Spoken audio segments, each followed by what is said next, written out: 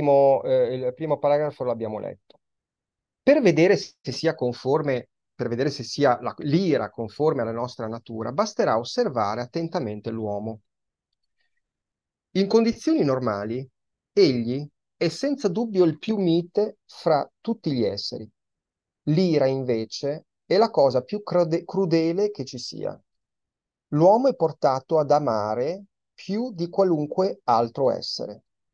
L'ira è l'esatto contrario dell'amore.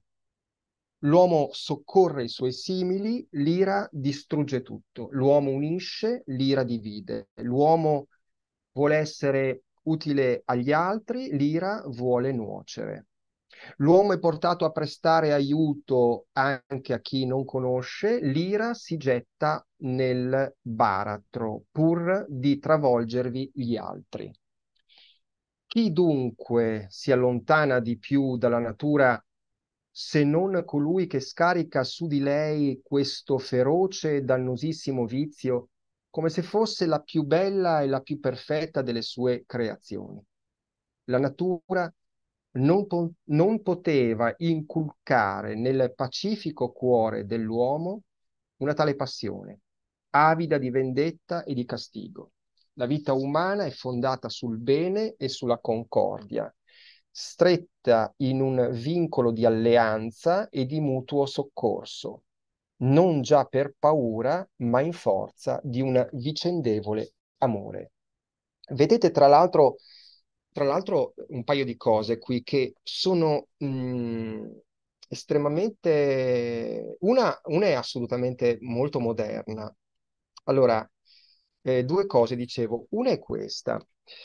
Ehm, qui in fondo quando parla del fatto che eh, mh, mm, eh, la legge a cui praticamente la legge a cui eh, uniformato il cuore dell'uomo è eh, la legge eh, dell'armonia tra le persone. E appunto là dove dice che questa legge che è scolpita nel cuore dell'uomo non è prodotta, questa invece è la tesi, è la tesi un po' alla, alla Rousseau e la tesi un po' anche all'evoluzionismo, alla Darwin, no?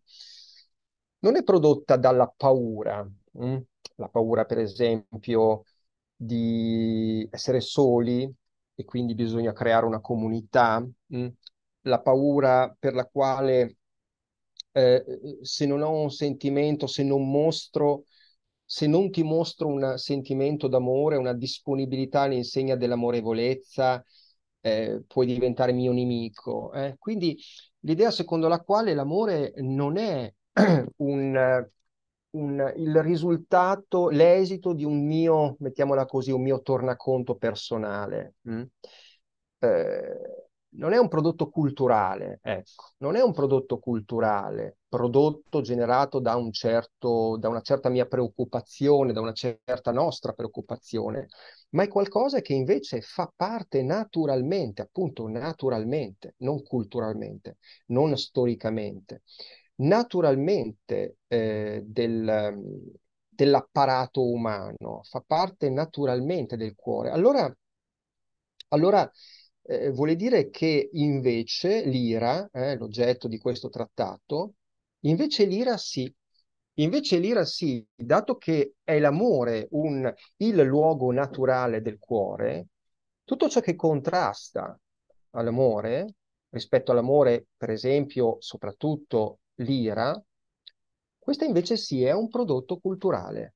È un prodotto culturale. Il secondo aspetto appunto che volevo sottolineare di questo, di, questo, di questo brano. Ehm, dimensione questa è molto, molto moderna, eh, molto moderna che incontriamo spesso in tante tesi di, eh, in ambito filosofico, ma anche in ambito psicologico, secondo la quale, secondo le quali tesi appunto è il vivere, nascere, eh, all'interno di un certo tipo di, appunto, di società, di cultura, di realtà, di istituzioni, no? potrebbe, dire un po la, la, potrebbe dire un po' Foucault, eh, che produce, produce certe reattività, certe paure, certe, certe condizioni di vita, per esempio appunto l'ira, per esempio la rabbiosità, eh, eccetera. E vediamo appunto in questo brano come natura umana e natura, e natura, e natura, hm? e natura con la N maiuscola, appunto, quel logos a cui facevo, fa- facevo riferimento prima, siano strettamente eh, connessi. A proposito sempre di questa cosa, del rapporto tra amore e natura umana, anche queste poche righe, sempre del Deira, l'ira, anche a non prenderne in considerazione gli effetti immediati, come i danni, le insidie, l'ansia continua per le liti e gli scontri fra le due parti, nel momento stesso in cui cerca di punire, resta punita, perché rinnega la natura umana. Questa infatti invita all'amore, quella all'odio. L'una impone che si faccia del bene, l'altra del male. Ecco appunto, il contrario dell'amore rinnega la natura umana, cioè l'amore eh, converge alla natura umana, afferma la natura umana. Quella natura umana, potremmo dire,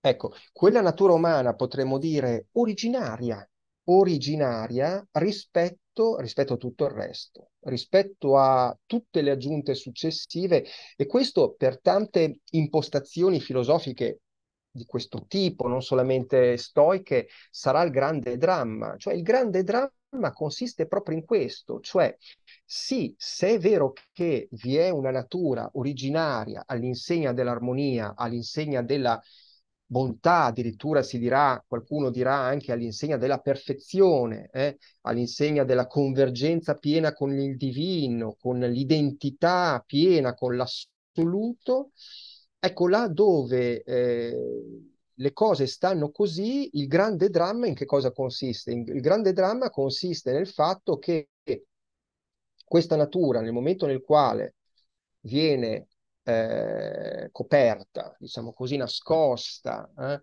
da tutte quelle stratificazioni, noi oggi appunto potremmo dire, come dicevo prima, culturali, no? tutte quelle stratificazioni culturali che sono così sottili, che sono così onnipresenti, che sono eh, così mh, mm, eh, eh, eh, da tanto tanto tempo, no? la, la storia di tutta una civiltà eh, sedimentate in noi, bene, tutto questo che cosa ci, a cosa ci conduce? Conduce il fatto, ci conduce alla considerazione che quella sia la nostra natura eh, vera. Insomma, uno scambio, mh? Hm, una, un confondere la natura, la natura, la seconda natura, eh, la natura aggiunta, eh, con la natura degli abiti, eh, direbbe Aristotele, direbbe, direbbero i medievali, con la natura eh, originaria. Quella è la nostra natura originaria, quella l'insegna dell'ira, dell'odio e via, e via dicendo. Mm, e via dicendo.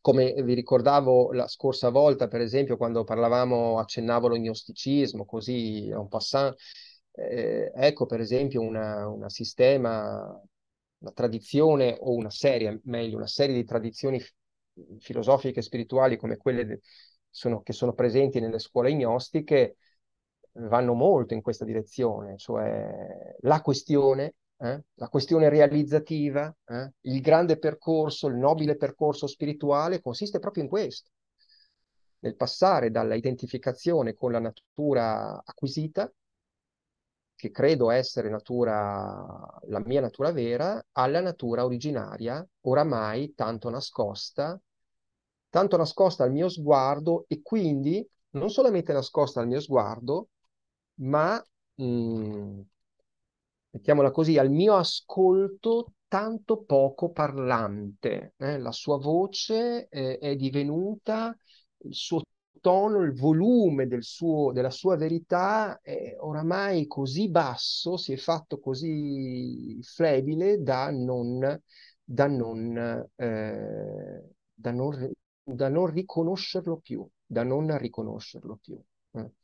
Eh, il, grande, il grande dramma, dicevo, dell'essere umano secondo queste impostazioni. Ecco, Detto questo, ricordiamo comunque che Seneca è uno stoico, eh, eh lo leggi, lo, lo capisci, te, te, te, lo ricorda ogni piè sospinto, questo certamente, e quindi tutto quello che abbiamo detto fino adesso naturalmente è tem- stemperato o temperato, dipende dai punti di vista, con um, un altro tipo di impostazione, secondo il quale appunto eh, sì, l'amore, ma attenzione, eh, attenzione. Eh, ci sono, eh, degli, ci sono tante pagine di Seneca in cui, delle opere di Seneca in cui eh, Seneca fa una dura critica all'amore all'amore non temperante, eh, all'amore smodato, come spesso eh, lui lo chiama, all'amore, all'amore passione, eh, ci siamo già tornati su questo, eh, su questo punto, eh, l'amore eccessivo, l'amore, l'amore eccessivo, molte volte l'esempio classico che fa Seneca, forse ce lo aspetteremo, ce lo aspettiamo tutti, è l'amore, è l'amore tra, tra, tra uomo e donna, no?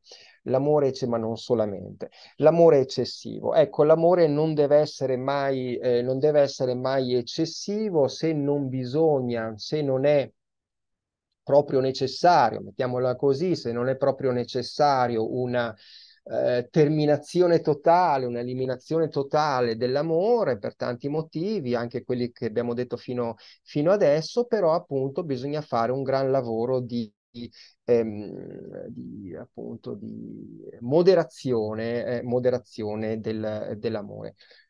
Soprattutto, eh, uno dei tipi di amore, dei de, de, de, modi di vedere l'amore, eh, in cui lui ha parole particolarmente dure o comunque su cui torna più e più volte in diverse opere, è l'amore è l'amore per la vita. Eh, pensate anche qui a proposito di modernità, quanta antimodernità, no? Quanto oggi come oggi continuamente ci sia una eh, ritornare continuo sulla no? la retorica dell'amore per la vita, eh, no? Quindi l'amore, è l'amore che, che che mai e poi mai bisogna mettere in, in dubbio eh, la vita la vita va tutelata in ogni, in ogni suo frangente, eccetera, la cosa più nobile che abbiamo. Mm? È, ehm, è, tipico di, una, di, un animo, di una mente eh, eh, eh, sana, avere appunto un giusto, un appropriato amore per la vita. Ecco, questa cosa, questa cosa, adesso non solamente con Seneca e non solamente con gli stoici, ecco, questa cosa, questa retorica dell'amore per la vita eh, quando vai a guardare gli antichi, ma anche, ma anche medievali, eh? Eh, questa cosa non la trovi mica, non la troviamo affatto, non la troviamo affatto. Soprattutto in un, una impostazione, un, impostazione, scusatemi, come quella, come quella stoica, come quella stoica. Vi volevo leggere anche qui un altro, un altro, un altro brano eh, che dice quanto segue, dire anche non prendere un attimo. Ok, questo qui, questi sono brani tratti dalle lettere a Lucilio. Questo dove si dice, eh, abituati a pensare alla morte. Chi dice questo invita a pensare alla libertà, alla libertà.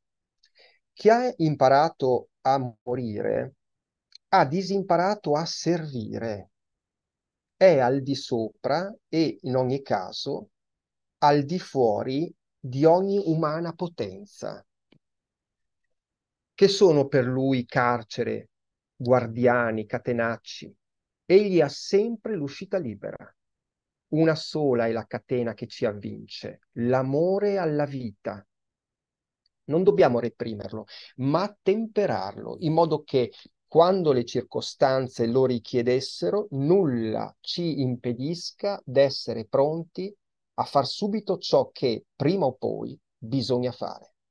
Mm.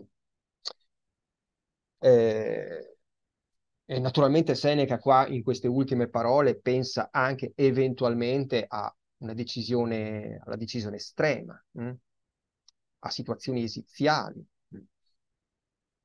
Per esempio la morte, per esempio. Ah, a proposito di morte, vedete qui come, e anche questo, classico, classico discorso, che troviamo in, tanta, eh, in tanto pensiero antico, ma, ma eh, soprattutto nell'impostazione stoica. E cioè, dicevo, il rapporto stretto che noi incontriamo in queste poche righe tra morte, eh, libertà,